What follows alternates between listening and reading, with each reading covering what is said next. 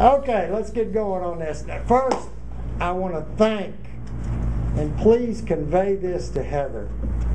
I want to thank Heather and Richland College for having us here. We've been here for 18 months now. They said 18 years. Okay? Every month for 18 months. And they've been very nice hosts, etc. Gave us a room and all that stuff. And everything's been good. So, but we're moving to the Russell Planetarium next month, and the first one at the Russell Planetarium in Mesquite is going to be on September the third, Saturday, September the third. Saturday. It Okay. it's it had to depend on when the staff could come in and open it up. So it's not going to be on a Friday night Okay. all the time. You've got to look at the TAS calendar to find out. And what you where you find that is go to texasastro.org and at the top of the page there's the calendar. And you click that and you can see when it's going to be. Okay? But we'll be over at the Russell Planetarium starting next month. and they're going to have planetarium show, and we're going to have a lecture, beginner astronomy class, right across the hall from the planetarium. And then we'll set up telescopes outside in the back of the planetarium. So, weather permitting, of course. If it's cloudy, we'll just not be able to do that. Yeah, we may have. Okay. Let's get going. Today we're going to try to go over these subjects that are on the up on the screen right now. And if you've never heard of what that is, we're going to try to teach you that today. Some of the basics of what right ascension and declination is. I've written a couple of notes over here on the left-hand side of the board that you need to understand a little bit about. Okay, so let's start with the first note I wrote up there. The North Star, Polaris. First, it's not the brightest star in the sky, regardless if your teacher told you that or not. Okay? In fact, Joe cannot see the North Star because my eyes are too bad. I've got cataracts. It's about second magnitude or so, a little, little less than sec- second magnitude, and I can't see second magnitude stars because I have cataracts. So I can't see the North Star. So it's not very bright. All right, but to find it, look at that page I gave you on how to find the North Star. All you got to do is find the Big Dipper, the two stars on the end of the bucket point directly to the North Star. So if you can see the Big Dipper, you can find the North Star. It'll point right to it. Not very far away, a little bit away, but not very far. Okay, so you can find the North Star. Well, that's a key star if you have if you're trying to do right ascension and declination. Is if you can't find the North Star by any means, well, you might as well forget about using that kind of amount that's set up there. You can forget it. All right. Now, you don't have to be perfect for visual observing. Let me just add that. For visual observing, all you got to do is kind of line it up north. Kind of, sort of, kind of. And I showed him, John Rudd showed showed him last time we were at Rockwall how he did, how he lines up his scope. He goes, Joe, which way is north? Uh, right over the top of that tree. Boom. Okay, I'm finished. He just kind of points it there. that's all he does. All right, that's good enough for visual observing. And we'll get into more detail in that in a minute. But if you're going to take pictures, it has to be perfect. So you're going to spend an hour lining up the scope and focusing. It's about an hour, all right? If you're going to take pictures. So caution beginners, do not say, hey, I want to get, I want to do astrophotography. Have you ever owned a scope? No. well, Best thing for you to do is to do visual observing for one year and read all about it. And don't buy one of those kind of mounts. Don't buy one of those kind of mounts as your very first mount ever. Okay? All right, so let's talk a little bit about what we mean with right ascension and declination. Astronomers like to change things. You know, every industry, and astronomy is an industry, has to have its own jargon. You know, to make it more confusing. Accountants like to do that too. You know, balance sheet, you know, income statement. You know, they make up these words. To, Debit, credit. yeah. As opposed to plus minus. Yeah. Right. Right ascension and declination means very, is very similar to longitude and latitude. They, in fact, they could have used longitude and latitude, and we would have all known what they were talking about. Okay? So don't let those words confuse you. Right ascension is very similar to longitude on a map, and declination is latitude on a map. So if we look at this little thing on here, the ancients didn't have our understanding of what was up in the sky. Okay, it was points of light. And that point of light showed up at exactly the same time on that day, 365 days later. All right? So they were all pinned to a sphere that circled the earth, that was all around the earth, out in the sky, a sphere. So the, here's the earth, here's the celestial sphere, all around the earth, and those objects are pinned to the inside of that sphere. And they're given a longitude and latitude of right ascension and declination. That does not change. It moves, but the RA and dec is the same. Okay? It does not change. At a specific location on that celestial sphere. Meanwhile, we're spinning under. Meanwhile, we're spinning underneath it, and yes, it moves across the sky because we're we're rotating. All right, but the RA and dec location. Look, Polaris, which doesn't move, sort of. It moves a little bit in a little teeny tiny circle. All right, little teeny tiny. Look at its uh, declination. Should be 90 degrees if it was directly over the north celestial pole. If it was directly over the north celestial pole, it would have a declination of 90 degrees. So how does that fit in with this scope over here? Well, it's got some marks on it. It's got some marks up here. Hey, one of them says 90 degrees. So, when I adjust the dec to the latitude, Dallas, 32.5 degrees north latitude. When this angle is 32.5 degrees perfectly, if this and this is rotated perfectly, it's going to point to the north celestial pole, which is very nearby Polaris, three quarters of one degree away.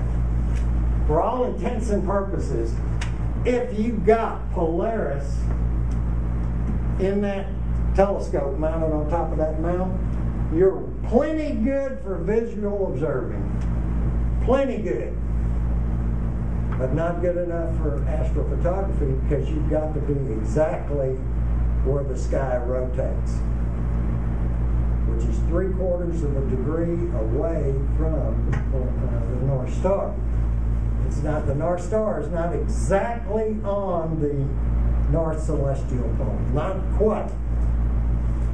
You're lucky though, if you were in the southern hemisphere, they don't have anything to find the South Celestial Pole. You'd be out of luck. There's a few dim stars there that they kind of do a star hop with to get over there, but they don't have a star that's darn near right there on it already. now, I need to talk just a minute, and I hope I don't confuse you, about a thing called precession. Precession. You'll hear, if you go out and buy a star chart, you might hear somebody say, I wonder if what date that star chart was written. What were they worried about? Well, the stars precess across the sky very slowly. The planets are even worse, okay?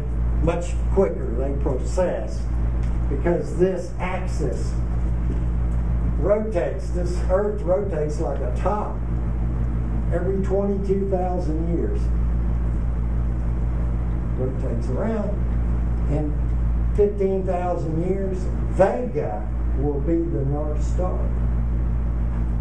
Because that pole will be pointed at Vega, not Polaris.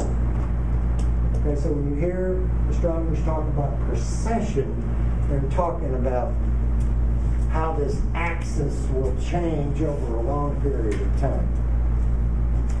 Okay, so imagine all the objects in the sky the Messier objects, the NGC objects, all pinned to the inside of this globe.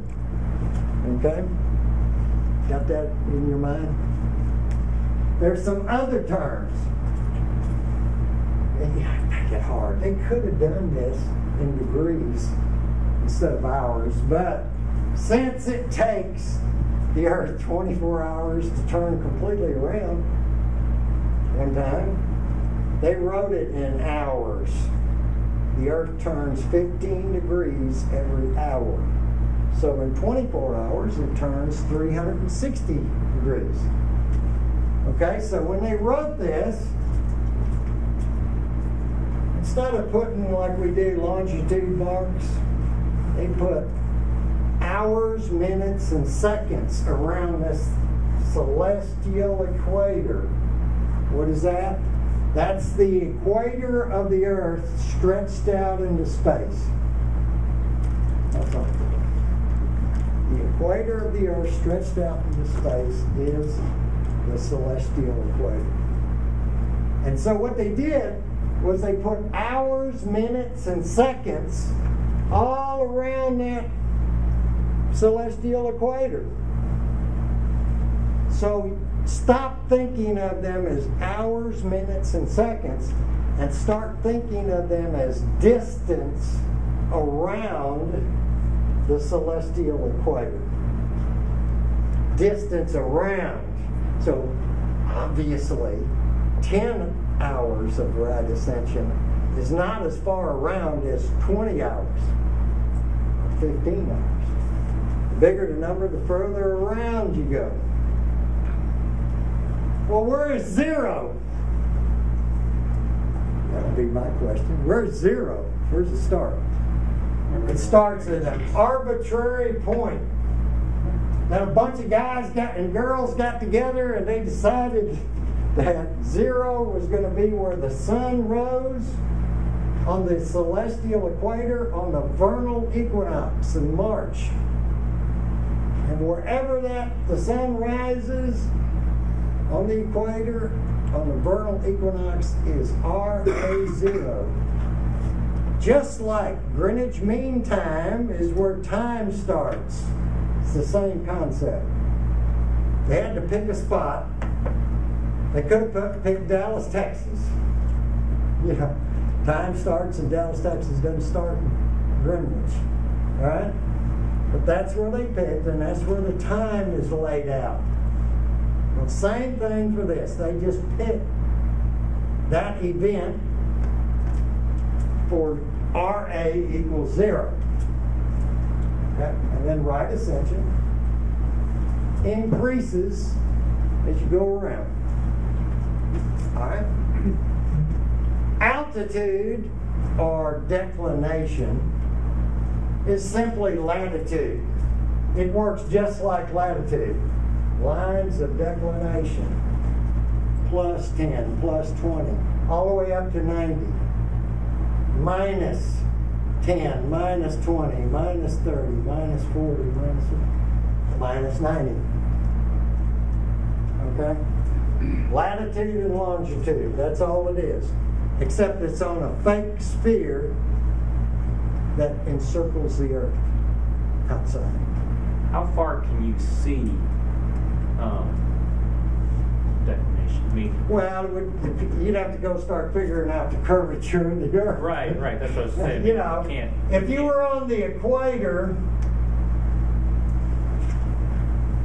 that's, well, I don't know if you could see 90 degrees plus or minus. I don't know if you could see all the way to 90. I don't know.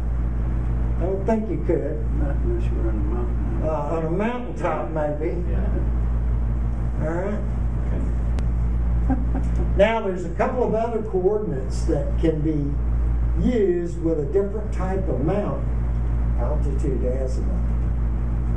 Alt as. An alt-az mount. I don't have one here.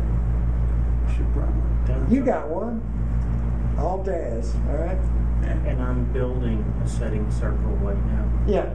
So that's uh, altitude azimuth. That's just another coordinate system. And if you download Stellarium, the planetarium program, it's free. Stellarium.org. Put it on your computer. You can see either RA and DEC or altitude azimuth for any object that you click on. It just shows it in the upper left hand corner. All right, shows both coordinates.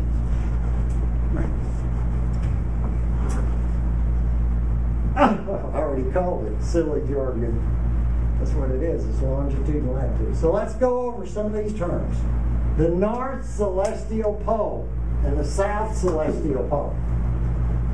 Just the north and south pole extended into space. That's all that is. Magnetic pole.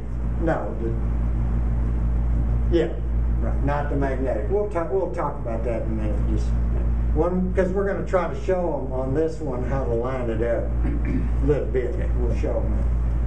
Uh, the celestial equator, just imagine a rubber band around the equator and you stretch it out into outer space. That's the celestial equator. Okay? Horizon is just depends on your location. What the horizon. That's your question. Zenith is wherever you are, straight up. Wherever you're standing, where's zenith? Right there. Meridian. Oh man, this is a good term for astrophotographers. They worry about the meridian. Why do they worry about the meridian? Because those types of telescopes cannot cross the meridian very far without the tube running into the mount and damaging it. The motors will stop and everything else. So they got to know where the meridian is. All right, so just I wrote it down. The line that extends from the north point on the horizon upwards through the zenith down to the south. So if you just looked at Polaris, say that's Polaris right where that wall, okay, and I just go like this. That's the meridian. That's it. And if you have one of these types of telescopes that's motorized, it cannot cross that. Some of them will cross it just a little bit without a problem. But if you like went to sleep and it crossed the meridian, you'd wake up and all your motors would be fried. It would jam itself into the mount and everything, the motors would burn up and everything else. Right? You actually got to flip the telescope, do a meridian flip, That's what they call it, meridian flip, and get going the other way. Lloyd and I don't worry about that because we have altitude azimuth type scopes. We don't have to worry about meridian or nothing. Okay.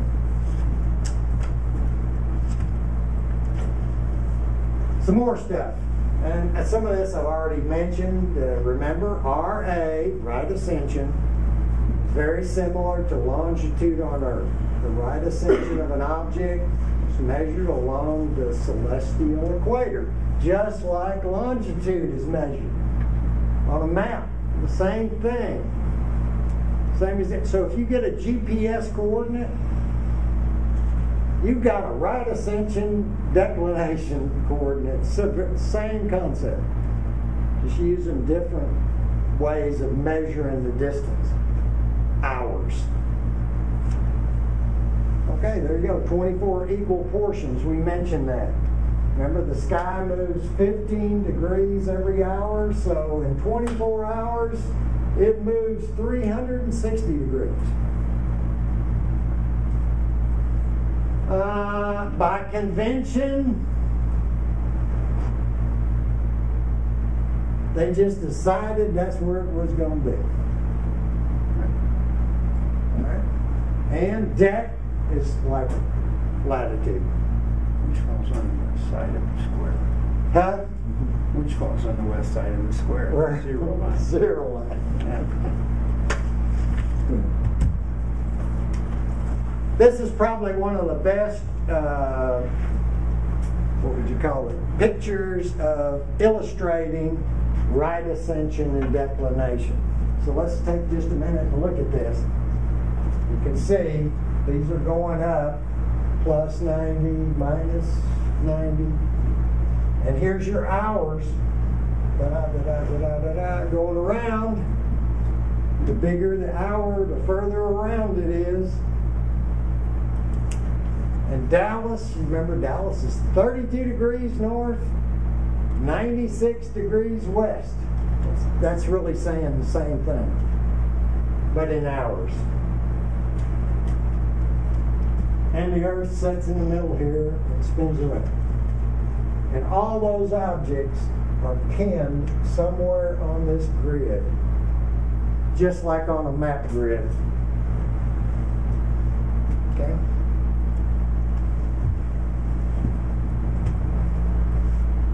Ah, let's see if I can turn lights on. There. Took a little screenshot.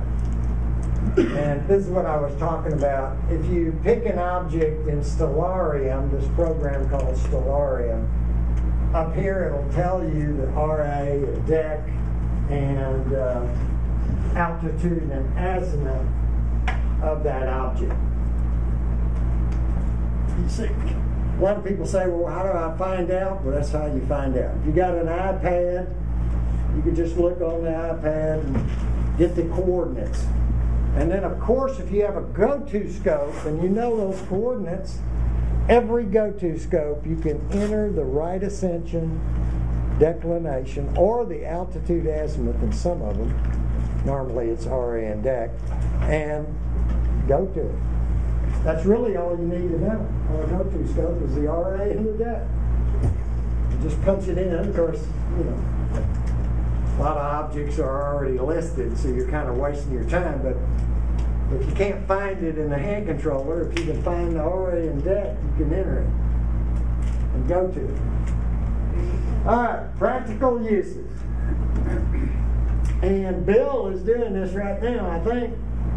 Can be used with accurate setting circles to find objects in the sky. However, most scopes do not have very accurate setting circles. Can be used with a planetarium program. We talked about that. The meridian is used on certain amounts so you don't run into it. And Bill is doing this right now. Yeah, I was, I was thinking of bringing the unassembled parts tonight, but the, the paint was Still there. still drying. Here's, a, here's what we call a Dobsonian telescope. It's a reflector. It's probably the best bang in the buck for beginners. Because you get a big aperture scope cheap. Oh, Called a Setting it up Dobsonian st- is yeah, and setting up is real easy. But the problem for beginners is finding things. Objects in the sky are real small and dim, and the scope has to be pointed directly at them, or you will see nothing. That's every scope. Yes, every scope. you will see nothing. All right. So to help you, Yes. To help you, there's some do-it-yourself projects where you can get a little setting circle made, 360 degrees, I just put one on mine. and an a, and a uh, altitude indicator made, alt azimuth, Alt not that alt design, but that. it- that same altitude, azimuth. And then you can look stuff up. Now look- look how big this setting circle is. It's got all kind of marks on it. So. It's huge. Okay? Got lots of marks. So now you can look that thing up in there and say, well, it's at 270.5 degrees and 40 degrees up. 41 degrees up. And you can just point the scope to that. There you So go. the Dobsonians don't usually come with. any- No, they don't. It's a cheap upgrade. Cheap upgrade. And no And, uh, batteries required. Right, right. Yeah, and there's all kind of plans on the internet for how to do Except you have this. to level it. And uh, any print shop, there's some PDF files that you can download for free off the internet. And you take it to a printer, and he'll print this for you. Well, there are a couple websites you can buy them pre-made, Yeah, which I do. yeah. Bring Okay. your red flashlight and your glasses. There's just another way of doing it. Look, great big numbers. You Yeah, can go. fine, this stuff, so. A lot of guys will put a red light right here shining down here so that they can see it at night. Battery operated red light. Do you have to uh, polar align them? Do you have to point? yeah you got to get initially get it. Yes. North, that's all. not north. Alright. Yeah. But that's, you know, That's just with a compass. yeah. Yeah. Now there's some other tricks with it. Instead of doing the altitude with little marks, you can buy one of these for $39. Twenty-seven dollars. Well, that's just from 39. Called a Wixey. And they use it for uh, cutting wood. You know, it measures the angle. It measures the altitude. Angle. It's got two little magnets on it, and if you happen to have a metal tube dog, it just sticks on there with those magnets. And it's accurate, I have been told, to a tenth of a degree. Harbor Freight sells it for twenty-seven dollars. Yeah. So you can just run out. Now there's your altitude. That's going to be perfect. You just put that those numbers around the bottom, and there you go. I used that. myself. Poor man's uh, push-to. Poor man's push tube scope. It was pretty good. TSP. Yeah. You were going to. See, I attended a Yeah. Star Party where the visibility was good, but not great because we were still near Dallas. And there were a few people like with their push-tos, they were looking up this and they were looking up that. I couldn't figure out how they did it so fast. they were using their little Little, uh, iPhone yeah. type things to get their target Coordinates. Yeah, that's what I was coordinates, and then they just spun Spin it it into the around. scope. I mean, a couple times at this Star Party, I was right on. I find an object and bam, right in the middle. Hmm. And, uh, Yeah. It was pretty cool. Yeah. Yeah. The poor man's Argo Navis. There's a little device on the uh, screen right now called a Telrad. And all it is is a heads up display. A little red light, red light in here with a target, and it shines it up on this piece of plastic. And when you look through here, you see this projected on the sky like a heads up display. They're not very expensive, 39 bucks, About about Yeah. About thirty-nine dollars. And you know, you can screw this base into the scope or you can use that 3M stick tape, you know, that they foam sticky tape. And you can just stick it on there. That's what I do. When it falls off eventually, a couple of years later, you get dental tape, dental floss, and you run it underneath the stuff that's stuck all over the scope and it comes off. Or just put. Dental floss. Or fishing line. Comes off. So I stick them on and about every year or two, I learned something. Yeah. I'll be out, I'll be out in the field and it'll fall on the ground. Just put screws in. Okay, the key thing with this device is these are known, the circles are of known size. So the outside circle is four degrees, and the inside circle is two degrees. All right, so you can use this device to star hop around the sky because it's this is always four degrees. Is the center one? Yeah. Okay. But you could star hop around with that. And what else is cool is that all over the internet there's free Telrad, that's what that is, free Telrad star charts That's the fact. all over the internet. You can go download them and put them in plastic, put them in a binder. Tons of them out there. And here's one of them. Look, they got little Telrads drawn on there just kind of to show you what it will look like, you know. So that's a Telrad chart. This was just something I had uh, on my computer and I just copied the picture, you know. I had it on my computer. Let's see, Sagittarius. But you can buy the entire sky as a Telrad chart. Uh, not buy, but just download. It's free. Or sometimes they have these overlays you can just put over existing maps. Right. Yeah. There is the actual one for all the Messier objects. If you want to write that down, custerobservatory.org docs Messier 1 PDF. That will give you all the Messier objects. Good. I asked a question, what's Messier object? Okay, we'll, we'll talk about that. Let me just finish this one thing. Do a Google search for Telrad star chart, and a whole bunch of them come me, up. let me write this down. Okay, what is a Messier object? It's a catalog of 110 objects in the sky. And back in the 17th century, a fellow by the name of Charles Chuck Messier, Charles Messier, old Chuck, he was looking for comets. And in Texas, we say Messier. he was looking for comets because you could be real famous if you found comets back then. He lived in Paris. And every time, he's a French guy, every time he found something that was not a comet, hey, this is a comet, he would make a note of it in his log. So, typical French guy, he made a list of things not to look at. All right? And we look at them all the time because they're very beautiful objects in the sky. All right? There's 110 of them. And it's a catalog called the Messier catalog. And on star charts, it'll be the letter M with a number.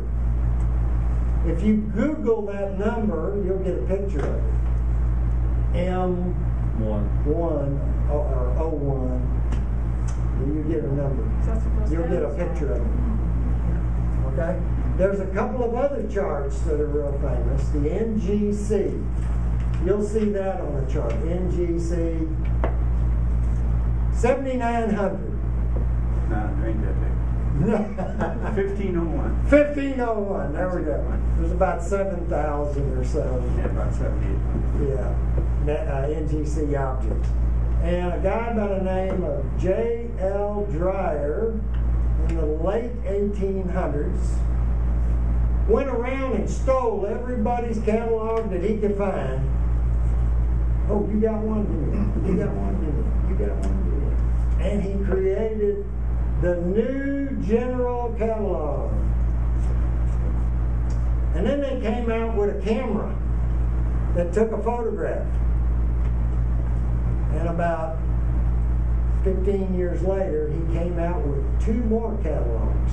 Index catalog number one and index catalog number two are IC with a number. So on star, that's the three most popular ones you're going to see on star charts. Messier objects, NGC objects, IC objects. Any questions? Y'all are experts on RA and now. And a celestial sphere. A celestial sphere. I have a question. Um, if you are, uh, taking, uh, some pictures or doing astrophotography, as you're moving across the sky, I mean, and granted, it's obviously slow, but if, if you're gonna do a long exposure, won't the object turn?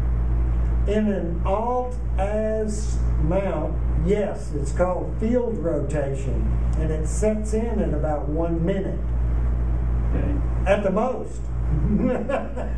Normally, you only get 30 seconds before field rotation sets in if you use an alt-az scope. That's an equatorial mount. That's the advantage of it. That's the advantage. That'll track it longer. Most of the imagers don't, what would you say, Andy, about they take 20 minute subs at the most because they're afraid something's going to happen and ruin the image, you know.